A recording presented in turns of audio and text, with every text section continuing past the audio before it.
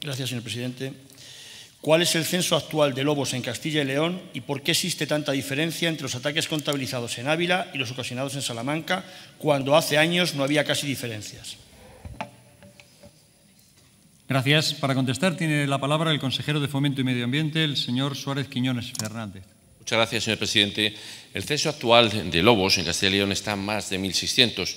El incremento de los daños en Ávila y la disminución en Salamanca proviene por el aumento de la población de lobos en, Ávila y la disminución de la población de lobos en Salamanca. Además hay otros factores. El tipo de ganado, el tipo de manejo de ganado y el tipo de paisaje afecta. Es más vulnerable a los ataques del lobo en Ávila la vaca frente a la oveja en Salamanca. La vaca eh, bueno, no admite la ayuda de pastor y, repito, es más vulnerable. Eh, las ovejas va acompañada de pastor humano y, por lo tanto, es un factor que disminuye los ataques. Y, desde luego, el paisaje. Eh, Ávila es el lugar más cerrado de vegetación, donde las manadas se ocultan y anidan. En cambio, Salamanca tiene una vegetación más abierta, una configuración orográfica más abierta y, por tanto, más difícil a la estabilidad de las manadas. Todos estos factores afectan a esa diferencia de daños y, desde luego, no son actuales. Ya hace muchos años que esta diferencia existe. Muchas gracias. Gracias. Para un turno de réplica tiene la palabra el señor Pascual Muñoz. Hace unos meses, y en este mismo Parlamento, me inquietaban las medidas de la Junta para hacer frente al incremento de los ataques del lobo en nuestra comunidad, pero especialmente al sur del Duero y en Ávila. Ahora repito lo que le dije entonces. Su gobierno no debería estar muy contento con la gestión realizada en este sentido. Le digo por qué. Los ataques del lobo no solo no han disminuido, sino que han aumentado considerablemente y son muchos los ganaderos abulenses que se han puesto en contacto conmigo para contarme su historia. El último hace menos de un mes. Cuando, hablo con estos ganaderos, todos coinciden en afirmar que el número de lobos al sur del Duero es inestimable y muchos de ellos aseguran que la población va en aumento. Según el último censo oficial de lobos al sur del Duero, había ocho manadas en Ávila, pero los ganaderos abulenses hablan de más. A estas cifras habría que sumar los lobos que no van en manada, por lo que la cifra sería todavía mayor. El problema de este censo, como ya dije, es que se realiza cada diez años, por lo que el último es del año 2012-2013, pero hasta el año 2018 no se publicó ningún informe sobre este asunto.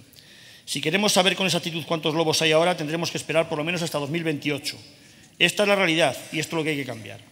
Necesitamos información y un censo real sobre la población de lobos en Ávila, señoría. Es fundamental para tener controlada la especie y evitar los continuos ataques a nuestros ganaderos. Pero la solución que ustedes plantean a esta falta de información sobre estos datos concretos es realizar controles poblacionales. Pero si no sabemos con exactitud cuántas manadas hay, ¿cómo pueden autorizar esos controles poblacionales? Insisto, es preciso saber el número de lobos ahora, no conocer dentro de 10 años los que hay en este. Este problema que, como le digo, ya se ha puesto de manifiesto en este Parlamento en muchas ocasiones y me aventuro a decir que como no se haga algo seguirá siendo recurrente, eh, le digo porque fue usted mismo el que afirmó textualmente que va por temporadas de la naturaleza y no por la gestión política. Pues déjeme que le diga que la gestión política, o más bien la no gestión política en este sentido, tiene mucho que ver. Está claro que contra la naturaleza no podemos hacer nada, pero creo que usted sí que puede tomar medidas y actuar. Verá, señor consejero, hablo de tener controlada la especie y eso pasa por realizar cesos periódicamente. Es muy importante saber cuántos lobos hay actualmente al sur del Duero para poder controlarlos, porque de lo contrario ocurre lo que estamos viendo diariamente, ataques y más ataques. Así es imposible lograr, como usted dijo, un equilibrio entre el lobo y los seres humanos, o como no, y como no, en este asunto la desidia con mi provincia, Ávila, no iba a ser menos alarmante. Me explico. Ávila es la provincia que más se ve afectada por estos ataques. En el último año se han registrado 983 ataques frente a los 24 que decía, como comentaba, lo de Salamanca, donde también es especie protegida. Esta desproporcionalidad se viene repitiendo a lo largo de los años y mientras en Salamanca los ataques mortales del lobo se han reducido en prácticamente un 90% desde el año 2016, en Ávila van aumentando notablemente. ¿Por qué sucede esto? Me ha comentado, yo creo que no solamente es por la orografía. ¿Y cuáles son las diferencias entre Ávila y Salamanca aparte de la orografía?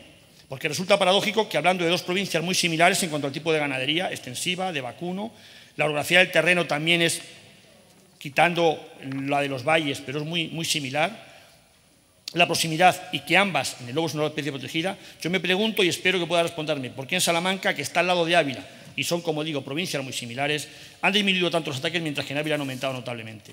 Con todo esto, lo único que conseguimos es que muchos ganaderos se planteen dejar esta actividad y los que la tenían como opción la descarten. De nuevo, latente la desidia de los sucesivos gobiernos con la provincia de Ávila. Yo le animo, señor consejero, a que este año sus alentadoras palabras se traduzcan en hechos y se empiece a notar que de verdad Ávila les importa. Muchas gracias. Gracias. Para un turno de dúplica tiene la palabra el consejero de Fomento y Medio Ambiente, el señor Suárez Quiñones Fernández. Gracias, señor presidente. Lo repetiré tantas veces como sea necesario. Desidia absolutamente ninguna. Mire, eh, esta población de lobos de más de 1.600 es la oficial que hace la Junta de Castellón en colaboración con el Censo Nacional de Lobos, que lleva el Ministerio de Transición Ecológica, que es cada 10 años, dentro de lo que se llama la Estrategia Nacional de Gestión y Conservación del Lobo, que es un censo del 2012-2013 y, por lo tanto, en 2022 y 2023 toca hacer, y ya estamos los preparativos para hacer un nuevo censo. Pero no nos conformamos con ese censo. La Junta de Castellón hace, a través de su personal de campo, de su personal técnico, contamos con consultores y especialistas que nos ayudan a interpretar los datos para determinar cuál es la población real y constante. Y eso nos ha llevado a que en Ávila la población del censo nacional es de ocho lobos, pero en realidad de ocho manadas, pero en realidad son trece las manadas que hay multiplique por nueve cada manada, por nueve individuos, más otros lobos sueltos. Por tanto, sabemos que en Ávila no son ocho manadas, sino trece las que hay. Y en cambio, las cinco que había en Salamanca, una ha desaparecido y otra ha pasado a Zamora. Ahí está una de las explicaciones más claras del por qué el aumento de, de daños en Ávila y la disminución en Salamanca. Y no se olvide, no se olvide, el lobo en Ávila, en Salamanca, es una especie estrictamente protegida por la directiva Hábitats. Debemos conservarlo y debemos, por lo tanto, hacer actuaciones de conservación y solo de forma muy excepcional actividades de control, que es lo que estamos haciendo.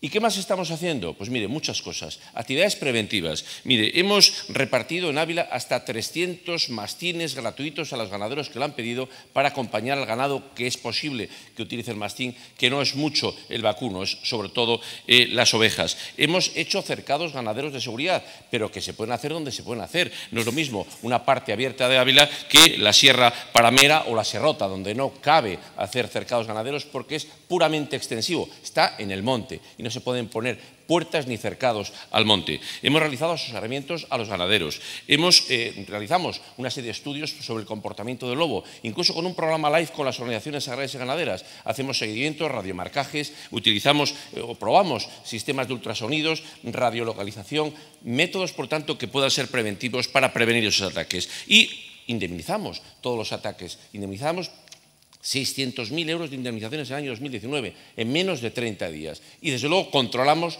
los ejemplares cuando hay esos daños, siete órdenes de control excepcional que nos cuesta mucho sacar adelante y convencer a Europa de que son correctos y de los cuales siete del año 2019 ya hemos ejecutado seis, una de ellos precisamente en el día de ayer. Todo ello para tratar de que el lobo se va a quedar, no le quepa ninguna duda, pero para tratar de que se quede fundamentalmente y se desarrolle la ganadería extensiva. Inacción ninguna, toda la que la legislación nos permite.